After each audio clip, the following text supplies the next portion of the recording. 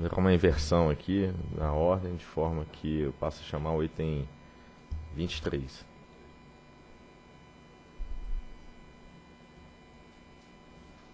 É, o processo 48.500, 5575, 2015, 07. Proposta de abertura de audiência pública com vistas a colher subsídios e informações adicionais para o aperfeiçoamento do sistema de bandeiras e definição das faixas de acionamento e adicionais para o ano de 2016. Diretor relator, doutor André Peptoni. Senhores diretores, esse processo trata-se, do, na realidade, do processo metodológico do sistema de bandeiras tarifárias. Vou ler o voto, mas vou antecipando. O que se está propondo aqui é se manter a bandeira verde, a bandeira amarela e na bandeira vermelha criar dois patamares. Então vai ter o vermelho 1 e o vermelho 2, essa é a novidade. Não estou trazendo agora os valores das bandeiras. Qual o valor da bandeira amarela, da, da verde, da amarela e da vermelha. Isso aí, enquanto tiver essa audiência pública, nós vamos estar aplicando a sistemática atual vigente. Bom, então o decreto 8401, ele dispõe sobre a criação da, da conta da bandeira. Na sequência, a resolução da ANEL de fevereiro de 2015, de número 1859, fixou a, as faixas de bandeira, era R$ 25,00 por megawatt-hora amarela e R$ 55 a, a vermelha. Só que em 28 de agosto, essa resolução foi alterada pela resolução 1945, onde reduziu-se a, a bandeira vermelha para R$ 45,00 o megawatt-hora e que teve vigência, então a partir de setembro a bandeira foi, foi reduzida. E essa redução, como é público e notório, ela aconteceu em função de decisão do CMSE, que optou por não despachar mais usinas térmicas com CVU acima de 600. E por meio da resolução normativa então 649 de 27 de fevereiro de 15 foi aprovado o submódulo 6.8 do PRORET, o qual define as definições, as metodologias e os procedimentos de aplicação da bandeira. Aí, em 18 de agosto, a medida provisória 688 prescreve que existe possibilidade de repactuar o risco hidrológico suportado pelos agentes de geração hidrelétrica participantes do MRE. E a MP, que também já foi convertida na lei, definiu que o risco, quando relativo à energia contratada no ambiente regulado poderá ser parcial ou integralmente transferido ao consumidor e coberto então pela conta centralizadora de recursos da bandeira tarifária. Esse processo foi da relatoria do diretor Tiago e foi finalizado em reunião extraordinária né, na última sexta-feira. E foi dado prazo até 15 de janeiro para que os agentes façam a opção se vão aderir ou não à sistemática. Então fico alerta que, à medida que ocorra adesão, a transferência do risco hidrológico ele passa a ser coberto pela conta bandeira. Então, a variável aí que não se tem ainda concreto, só o teremos a partir de 15 de 16 de janeiro. Então, a Lei 13182, de 3 de novembro, que alterou a 12.111, para fixar a bandeira tarifária homologada pela ANEL, não são aplicadas aos, é, define que não são aplicadas aos consumidores finais atendidos pelo sistema isolado, por Serviço Público de Distribuição de Energia Elétrica. E o submódulo 6.8 do PRORET foi aprovado pela Resolução Normativa 689, que estipula tratamento específico para o resultado positivo da conta centralizadora do recurso da bandeira. A MP 688, convertida na Lei 13203, agora em 8 de dezembro, foi publicada dia 9, dispõe sobre a repactuação do risco hidrológico. Haja vista as alterações da legislação, a SGT, pela nota técnica 328, de 9 de dezembro, apresentou então proposta de aprimoramento do sistema bandeira, objeto do submódulo 6.8 do PRORET. Em 9 de dezembro, o processo foi distribuído por sorteio público a esta relatoria. É o relatório. Procuradoria. A Procuradoria entende que a questão aqui é eminentemente técnica, por isso opina pela presunção de legitimidade do ato que vai ser praticado pela diretoria.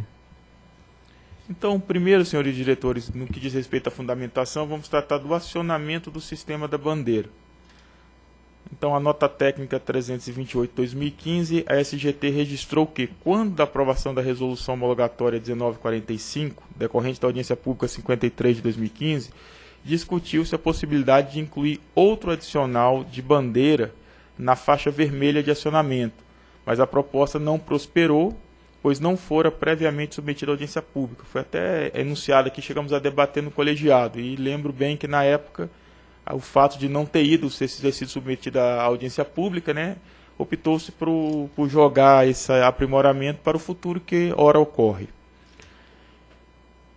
Os senhores vão ter oportunidade de ver, porque a, a, faixa vermelha tem uma amplitude muito grande. Aqui vai ter um gráfico que vai demonstrar. Então, assim, para 2016, a SGT analisou na nota técnica a possibilidade de incluir uma faixa adicional no sistema de bandeira. Para tanto, estimou os custos de geração térmica por faixa de acionamento. E conforme apresentado na nota técnica 328, constatou que os custos de acionamento das térmicas da faixa vermelha era o que falava, tinha uma, uma variável significativamente grande, ou seja, variava do, do PLD máximo, que era 388, vai, que era não, que vai ser até 31 de dezembro 388, mas já temos o novo 422. Então ela ia de 388,48 até a, a, térmica mais cara. Essa térmica mais cara, eu tô, tô com ela aqui, é próximo de R$ 1.200. Trata-se da térmica com a CVU mais alta, que chama-se Chavante Aruanã, ou CVU de R$ 1.172,95. Então, uma faixa muito abrangente e, e, tecnicamente o que consolidamos na discussão conceitual é que era razoável colocar um, um, um outro patamar nessa faixa. Então, como dizia, ela abrange essa faixa a depender da CVU da última térmica despachada, que pode chegar a, a esse que mencionei. E o gráfico, então no gráfico acho que a percepção é melhor. A gente vê a, a bandeira verde, que é uma faixa que abrange 6.415 megawatts e custa 841 milhões de reais, e o custo é de 0 a 200. A bandeira amarela também de 200 reais, né, vai de 200 a 400. Aí nós temos 2.823 megawatts inseridos, a um custo de 315 milhões de reais mês. E a bandeira, perdão, eu falei a verde errada. A bandeira verde são 10.308 megawatts e custa 900 milhões de reais mês. A amarela, 2.823 a 315 milhões de reais. E a bandeira vermelha, que inicia no, no, no 400 e vai até a térmica mais cara, de 1.172. Se a gente considerar todas essas térmicas, nós estamos, contamos com um potencial de 6.415 megawatts a um custo de 841 milhões de reais mês. O que se propõe é colocar um, um patamar aí que divida esse custo em dois, ou seja, limitar no custo de 420 milhões de reais, aí depois muda o patamar para mais 421 milhões de reais. Isso está sendo estudado. Então a, a superintendência, a SGT, demonstra que a faixa verde engloba as usinas com mais disponibilidade máxima acumulada, ou seja, porque tem a, a CVU baixo. E temos aí nesse, nesse hall 10.308 megawatts. Amarela 2.823 e a vermelha 6.415 megawatts. Por considerar que o CVU das usinas de faixa vermelha poderia atingir um valor máximo próximo de 1.200 megawatts hora, a SGT observou que o custo mensal adicional resultante do acionamento de todas as térmicas com CVU superior a 388,42, que é o PLD máximo, que é a faixa vermelha, seria de aproximadamente 841 milhões de reais ao mês, significativamente, senhores diretores, maior que o custo de acionamento das térmicas da bandeira amarela, que é 315 milhões. Então, a unidade organizacional ponderou que a definição de adicional único de bandeira tarifária para a faixa vermelha, diante dessa amplitude de, de custos, poderia produzir descasamento entre a receita obtida com a aplicação das bandeiras e o custo de geração real e argumentou que seria desejável criar um, um patamar adicional para cobrar a, a bandeira tarifária na classe vermelha. Assim, pela nota técnica 328, a SGT propôs que a faixa vermelha passasse a ter dois adicionais de bandeira, ao invés de apenas um, a depender do CVU, porque nós precisamos calibrar o despacho de térmica, o que, que será arrecadado para cobrir esse custo.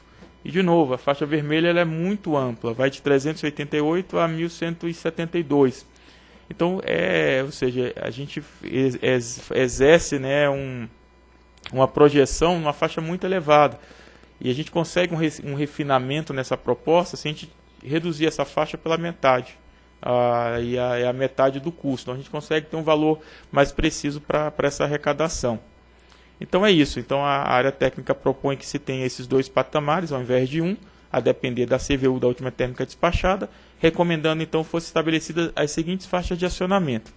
Então a bandeira verde seria acionada nos meses em que o valor da CVU da última usina despachada fosse inferior a um limite pré-estabelecido. Esse limite hoje é 200. A nossa proposta em breve será apresentada. Então a bandeira amarela seria acionada nos meses em que o CVU da última usina despachada fosse igual ou superior ao limite da bandeira verde, esse limite pré-estabelecido, e inferior ao preço teto do PLD. E a bandeira vermelha então seria acionada toda vez em que o CVU fosse superior ao valor teto do PLD. Só que agora nós teremos dois patamares. O patamar 1 seria o CVU entre o PLD e um valor pré-definido, e o patamar 2 seria toda vez que o CVU fosse maior que o patamar que o patamar 1, ou seja, que esse limite fosse do que o limite pré-definido.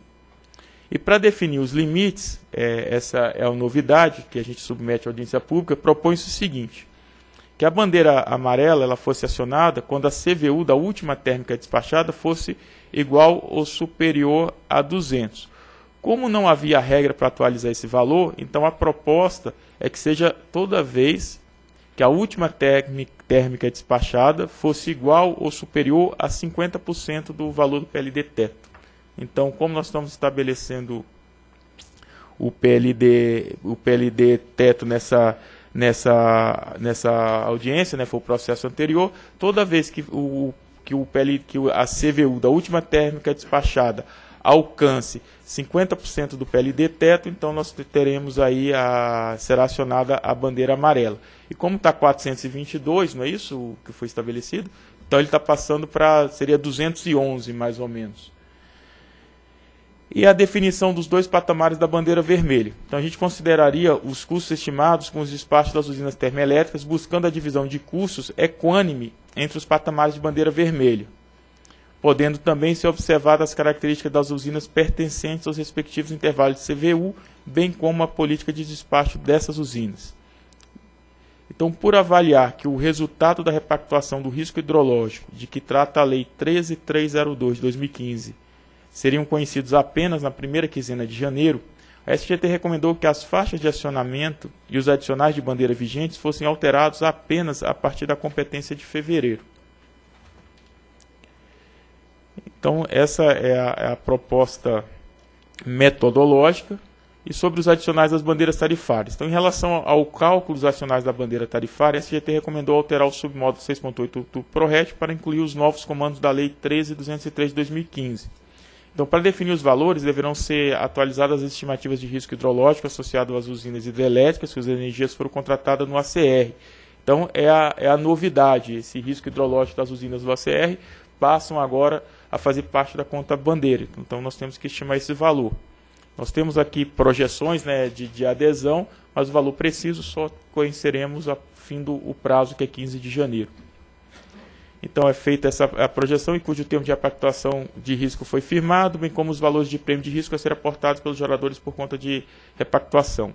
Para estimar as receitas decorrentes do ressarcimento da conta de energia de reserva, utilizada para abater dos custos de geração termoelétrica de curto prazo, a superintendência recomendou que fosse utilizada a parcela do risco hidrológico associada à energia não contratada no ACR, como impõe o parágrafo 4 artigo 1 da Lei 13.302.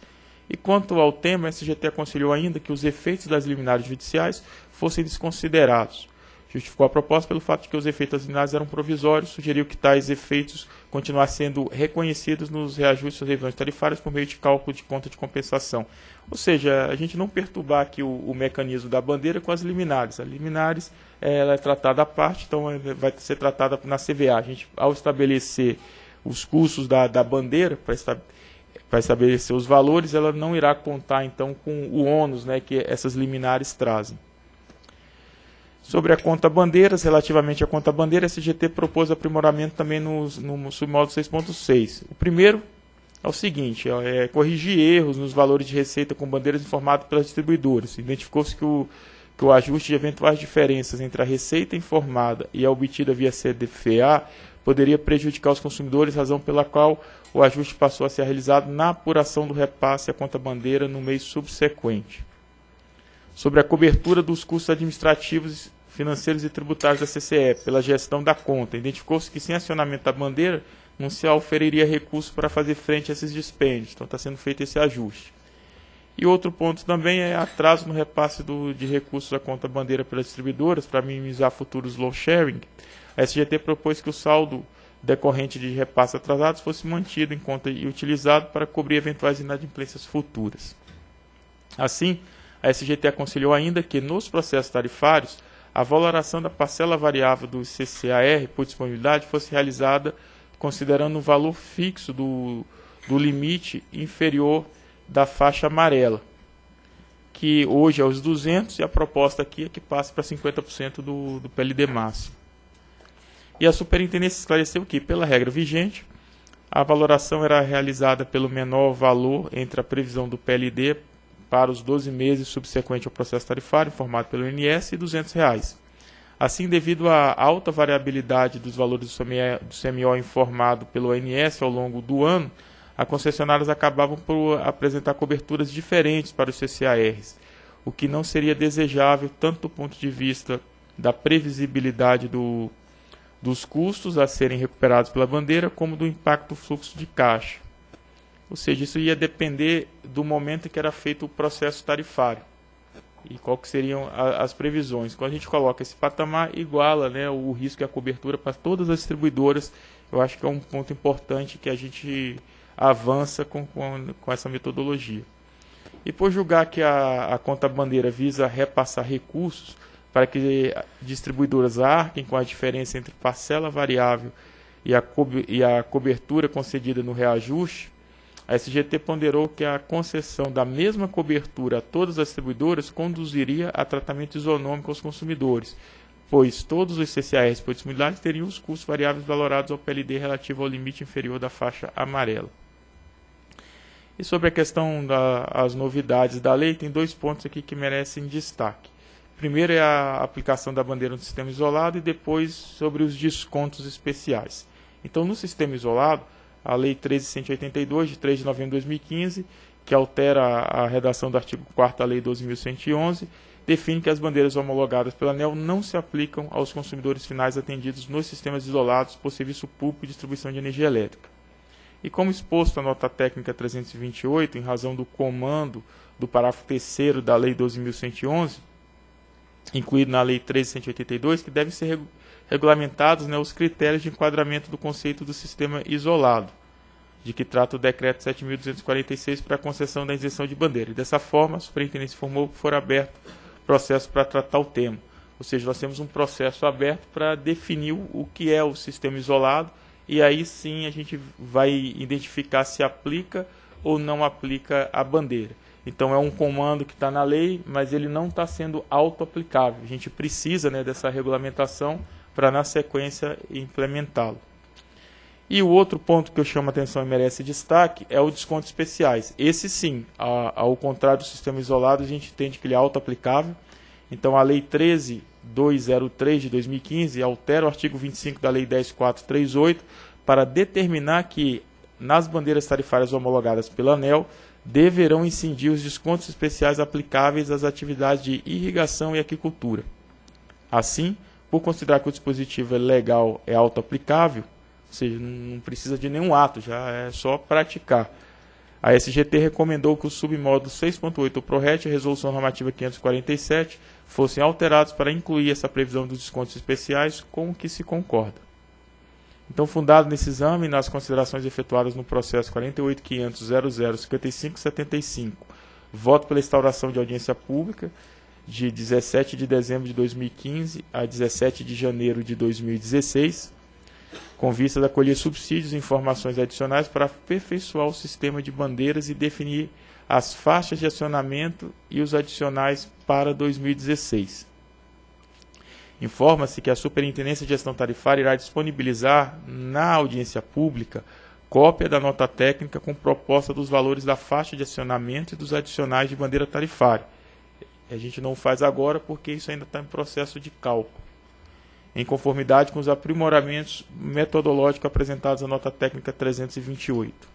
E vota ainda pela emissão de resolução normativa, como, ou seja, resolução normativa minuta anexa, a fim de alterar o submódulo 6.8 do PRORET, a resolução 547, para incluir a previsão de que as bandeiras tarifárias homologadas pela ANEL incidirão os descontos especiais aplicáveis às atividades de irrigação e agricultura.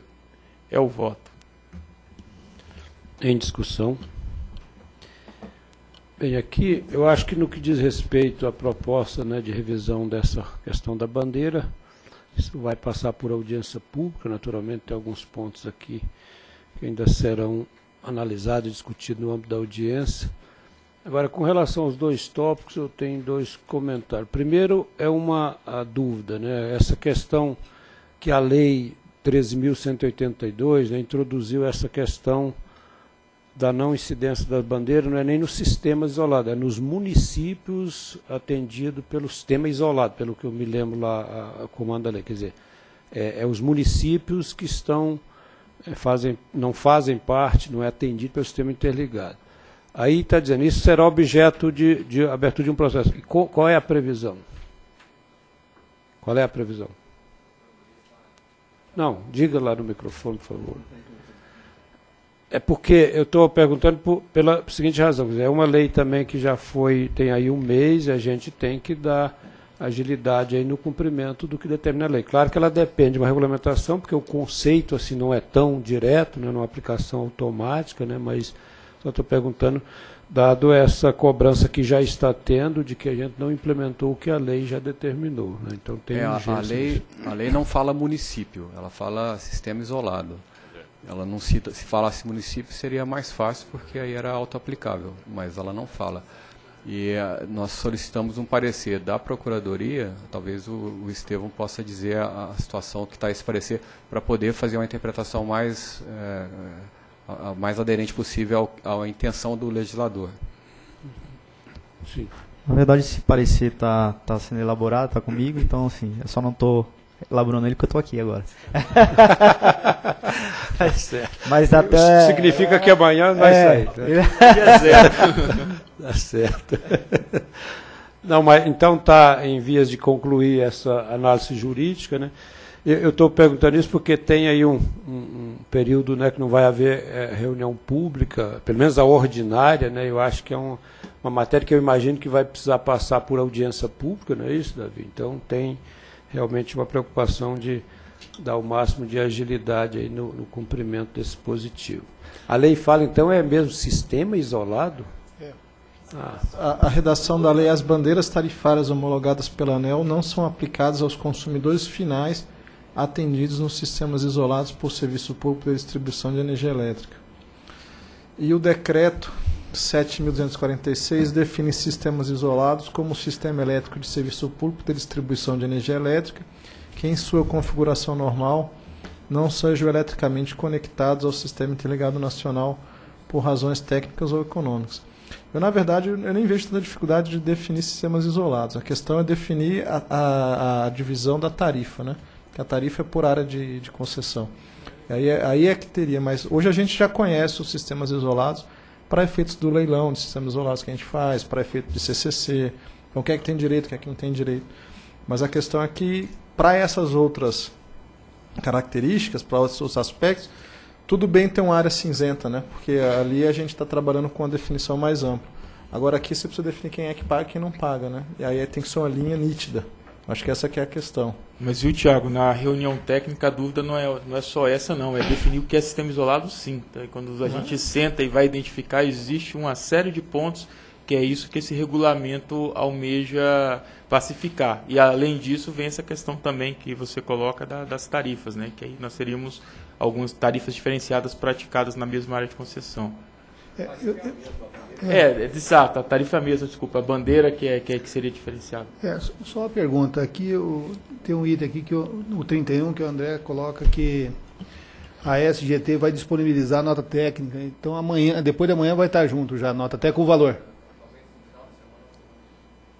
Mas é complicado, né? Você, a audiência pública já é de um mês só e nós vamos comer uma semana sem saber o valor da, da proposta. É, o desejável, Jurosa, é, é que nem o Romeu colocou para o procurador. É, é para ontem essa, essa nota técnica. A gente vai empenhar o melhor dos esforços. Foi um desconforto que tive também na reunião com a área técnica, mas uhum. a gente vai empenhar o melhor dos esforços para disponibilizar essa nota técnica o quanto antes. E nesse momento nós vamos dar ampla divulgação no nosso site, né, da inserção dessa nota técnica na, no site da audiência. Bem, só, o só Davi está então... Tá com a incumbência aí, sabendo que isso é para ontem vai fazer o melhor que o dos seus esforços nisso. Só fechando o comentário anterior, porque aqui, de fato, a questão do sistema isolado tem uma sutileza, sem dúvida, né? porque quando você fala que é a distribuidora atendida pelo sistema isolado é uma coisa, né? e o consumidor atendido pelo sistema isolado é outra coisa. Eu acho que essa que é a sutileza né, que o André falou, que tem, de fato, uma... Enfim, tem que adentrar um pouco mais nessa questão, né? porque se hoje nós falássemos de distribuidor, é basicamente seria lá o estado de Roraima, né? Só isso. É o único. Mas as outras distribuidoras tá, mas tem várias localidades que não são atendidas pelo sistema isolado, né? Município, localidade. Tem uma curiosidade, é. Romeu, acho que poucos sabem, um dos estados hoje que tem a maior quantidade de sistemas isolados é o estado da Bahia. Tem, é. tem vários municípios ali que são tratados como sistema isolado. Então, isso foi uma questão que foi introduzida por essa lei, né, no projeto de conversão lá da medida 677, que foi convertida nessa lei 13182. Evidentemente, isso é uma imposição legal que a ANEL tem que implementar. É evidente que não foi a proposta da ANEL, porque isso aqui cria uma certa. É, desvirtua um pouco essa lógica de ter a mesma tarifa aí, entendido, incluindo a bandeira, que a bandeira, em alguma medida, faz parte do preço final para a mesma para o mesmo para os consumidores atendidos pela mesma concessionária, né? Aqui cria realmente uma anomalia em relação a isso, mas é uma imposição legal. E o outro que igualmente foi imposto pela aí por uma outra lei, aí já foi o projeto de conversão da medida 688, né, que foi a lei 13203, que introduziu essa questão do desconto da bandeira para o irrigante que também, evidentemente, não foi a proposta da ANEL, a ANEL até não concorda é, com isso, mas tem que implementar uma imposição legal, porque, no meu modo de ver, aqui vem na contramão do sinal econômico da lógica da bandeira. Quer dizer, o irrigante já ele goza, em alguma situação, de um desconto que chega a 90% da tarifa, ainda assim ele vai ter, além do consumidor de baixa renda, que é o único que tem o, o, desconto também estendido para a bandeira, agora passa a ter o irrigante, que é um certo contrassenso. Quer dizer, você está dando, atenuando o sinal de preço do custo da energia para o irrigante, que é um consumidor que usa de maneira intensiva a energia. Mas, de novo, esse foi uma inclusão do projeto de conversão da 688, que foi essa lei 3.203, e esse, pelo que foi então interpretado, é de aplicação direta, então nós estamos apenas recepcionando aqui no ProRet esse comando para que seja de pronto aplicado. Né? É, bem, essa questão que o Jurosa colocou, claro que é, a área está fazendo o melhor esforço aí para ainda esta semana, no máximo, no começo da que vem, disponibilizar a nota técnica que vai complementar o, o, o, conteúdo da audiência pública. Né? Mas é de fato ela tem que ter um prazo também não muito é, longo porque ela precisa entrar a bandeira né, o quanto antes. Em fevereiro. E no caso seria fevereiro, né, porque janeiro já vai ficar com o valor de 45 que está definido, não, não há tempo exato. hábil para definir para janeiro, será fevereiro. Né? Então, o meu só para deixar claro, a, aqui está apresentada toda a metodologia o que a nota técnica vai fazer é só então valorar, dizer qual que é, é esse patamar das bandeiras, da amarela, o patamar 1 da vermelha e o patamar 2 da, da, da vermelha, diante da, da equação de custos né, da bandeira. É tão somente essa informação que será agregada pela nota técnica. E os? Pode falar. Os adicionais. Os adi... Ah, sim, os, os adicionais, sim, das faixas. Os patamares. Certo. Ok? Então, em votação. Com o relator. Eu também voto com o relator. Também voto com o relator. Também voto com o relator. Proclamo, então, que a diretoria decidiu pela instauração de audiência pública no período de 17 de dezembro de 2015 a 17 de janeiro de 2016, com vista a colher subsídio de informações adicionais para aperfeiçoar o sistema de bandeiras e definir as faixas de acionamento e os adicionais da bandeira para 2016, possivelmente a partir de fevereiro. Informa-se que a, a SGT, então, vai disponibilizar, como discutido, no âmbito dessa audiência pública, cópia da nota técnica com proposta dos novas faixas de acionamento e dos adicionais de bandeira tarifária, em conformidade com os aprimoramentos metodológicos apresentados no voto relator e na própria nota. Decidimos ainda é, por é, alterar o submodo 6.8 do PRORET e a Resolução Normativa 547, de 16 de abril de 2013, para incluir a previsão de que as bandeiras tarifárias homologadas pela ANEL incidirão é, os descontos especiais aplicáveis aos, às atividades de irrigação e aquicultura. Próximo item.